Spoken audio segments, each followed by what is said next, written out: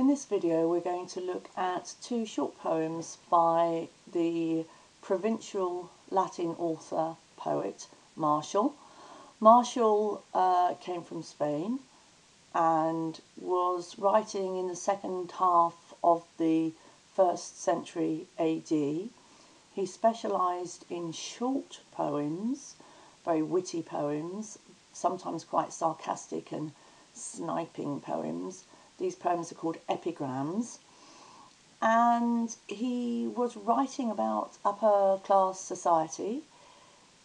He is very often making fun of the immorality uh, of the upper class lifestyle and he's really useful for us because in his poems he can sometimes concentrate on the problem of the ideal behaviour of rich people and the actual behaviour of rich people. And we are going to uh, have a look at that in the uh, first poem that we are going to see. So, uh, this poem, The Power of Love, as it's translated, uh, is about a woman called Laevina. And Laevina is going to be seen to be a rather uh, lascivious, lustful woman who is uh, led away from her husband by a younger male lover. What's interesting to me is that Laevina is named, as she's clearly the centre of this poem, and the men aren't named. And very often in Roman Latin literature, we don't get the women named, so it's rather nice that she is named. But actually, when women are named, when their name is in the public domain, it normally means that they're quite scandalous.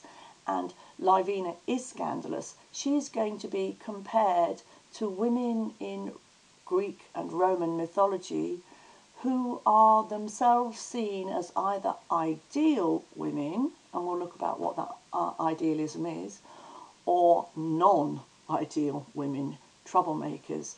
And we're going to see how Laevina falls from being uh, an ideal woman to being a rather um, immoral woman herself.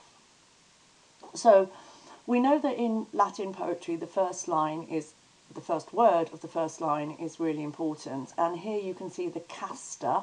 Casta means chaste. So we know that the key theme of the first lines of this poem is about chastity. Now, chastity or celibacy means not sleeping around, not sleeping at all uh, with, with a sexual partner, or perhaps only sleeping with one sexual partner who ideally is your husband. So Laevina is chaste, chaste no less than the Sabine women of old. Now the Sabine women are uh, an, the women of a neighbouring tribe of the early Romans, the Sabini. When Romulus in the myth founded Rome, he founded it uh, with men uh, to help him build the city, and they found after a while that they needed women, surprise, surprise, to make new citizens of this women of this city.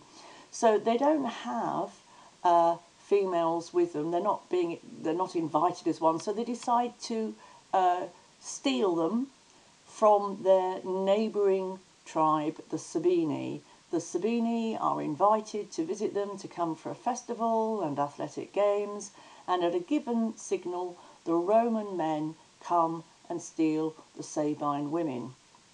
We don't need to go any further into that uh, myth, but you should know that the Sabine women are seen as models in Roman mythology of very chaste women, women who didn't give up their virtue easily to the Romans.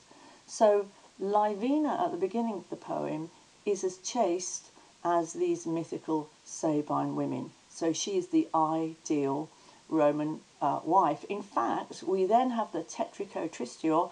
She is actually even uh, more austere, Tristis you'll probably know is sad, but more austere here than her ever so stern husband, her Tetrico Viro.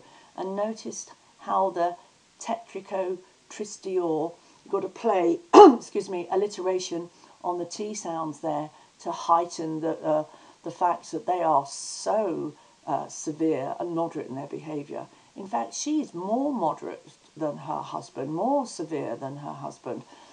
And that uh, comparative adjective is a kind of ironic foreshadowing. She's really severe at the beginning of the poem, but she's going to turn up to be someone who falls from grace. Now, in the middle two lines, the modo modo, uh, uh, going with the two names for uh, the lakes, the Lucrino and the Averno, uh, Lucrinus uh, and Avernus, which are lakes in around the Bay of Naples. Uh, they are uh, volcanic lakes down there. Uh, we've got now she goes to the Lucrine Lake, that's the Modo, Modo again. Then she goes to Lake Avernus, and when she's there, she demittit. Now, demittit is, you probably know the verb mitto, which is to send. This is to send down. So she lets herself down gently into the waters there. And she goes often, the Modo Modo, because that's the kind of luxurious holiday life that she has. But the demittit serves as a, uh, a hint that when she, she doesn't just let herself into the water, she lets herself down in her behaviour. After the Modo Modo, we then have the Dum. While she's at Baiae, now Baiae is a really um, famous uh, centre of hot springs. The Baianis Aquis, so the hot springs at Baiae, also in the Bay of Naples.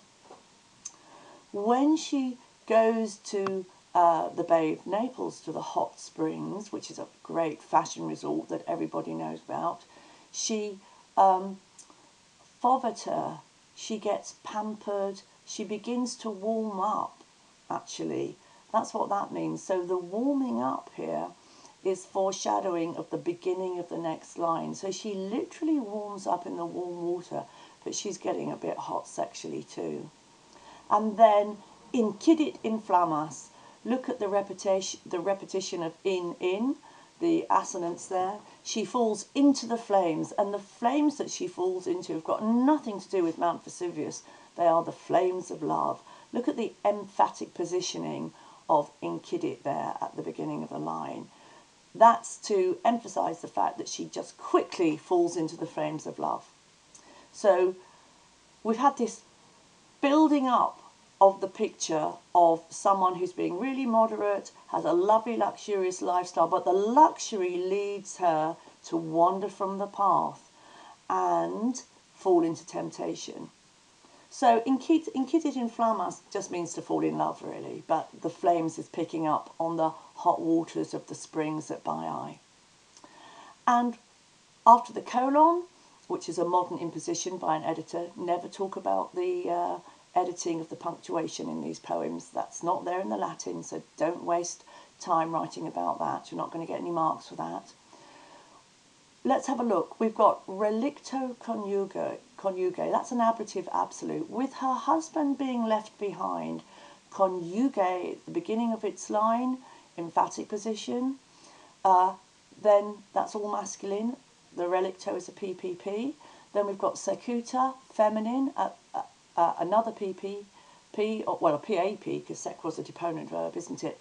Having followed her young man. So we've got the young man leading, the wife is following, and left behind is the husband. And you can see how the word order there brilliantly mirrors the actual movement in the relationship. And then this fantastic chiasmus at the ending.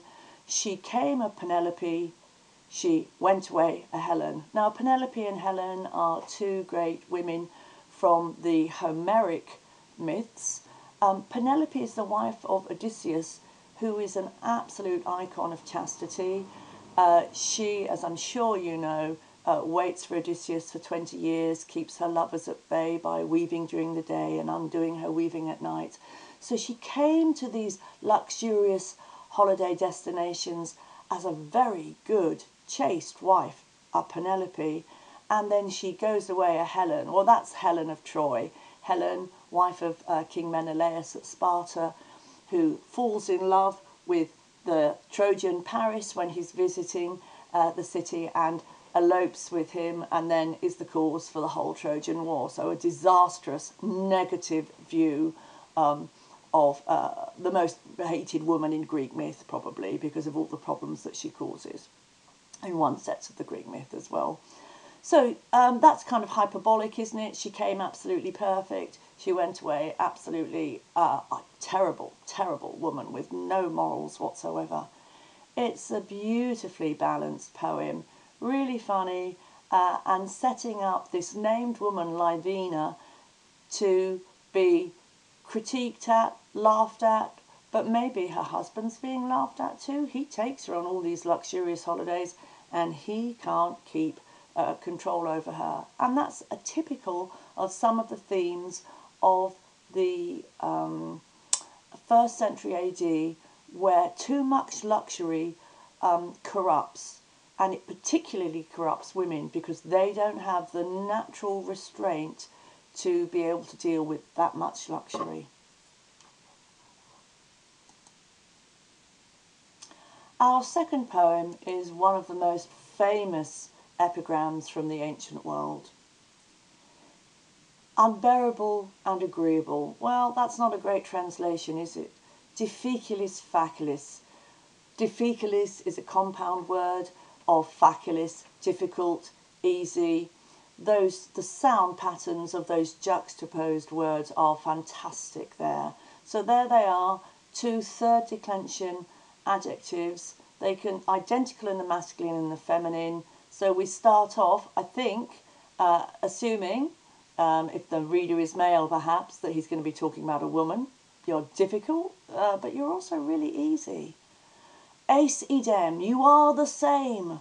Jucundus acerbus, another juxtaposition. You're pleasant, but you're bitter. You're, they have pleasant and repulsive equally. You are at the same time Jucundus, joyful maybe, and acerbus, I like to have bitter, something that's a bitter pill to take. Um, and those are both masculine. So now we know that the author or the reader is thinking about a male lover, not a female, which you might have thought with Difficilis facilis. So this poem is great. It works for straight women, gay men. This is a terrific poem. And just don't forget that in the ancient world, uh, same sex relations, just as in today's society, they happened. Um, they are normal.